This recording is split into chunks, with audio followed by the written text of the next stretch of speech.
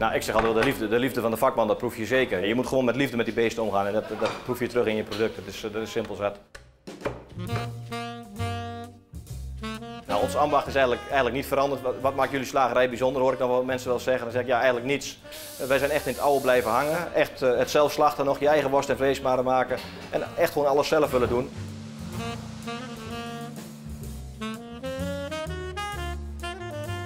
Ja, nou, mijn opa die was dus uh, keurmeester van vee en vlees. En mijn vader die is, uh, ja, geloof ik, als 16-jarig jongetje bij de familie Hub hier in Oene begonnen als, uh, als slagersknecht.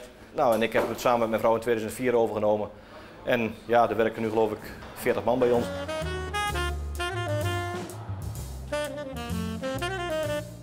Ik was er al echt wel heel vroeg bij. Ik was een jaar of zeven dat ik met pa mijn eerste koe moest schieten. En dat is, ja, zo ging dat. zo ging dat.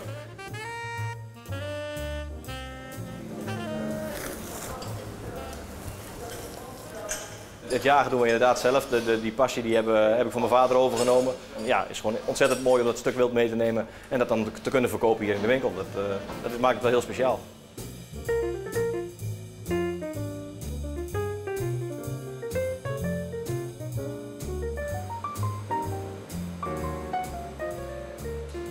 We beginnen op maandag beginnen wij met slachten. Dat is echt nog ouderwets. Vroeger waren de, slagdagen altijd op maandag.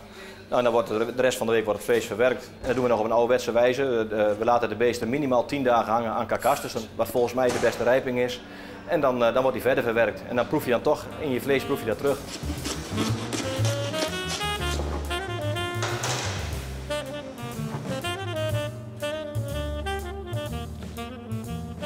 Wat mijn vader mij gezegd heeft is, jongen weet goed wat je aan begint. Het, uh, het eigen bedrijf is net balletdansen, je moet altijd op je tenen lopen. En dat, uh, ja, dat heb ik goed in morgen geknopt, maar ik, ja, ik vind niks mooier dan het vak wat we nu doen. Dus.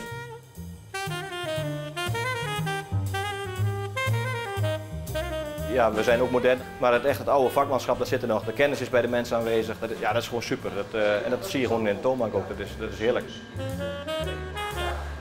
Merk mensen worden bewust en dat is, uh, ja, dat is wel heel mooi. En dat is voor de ambachtsmensen natuurlijk super. Dat handjevol slagers die moeten we hoog houden in Nederland die we nog hebben. Dat, uh, daar moeten we trots op zijn.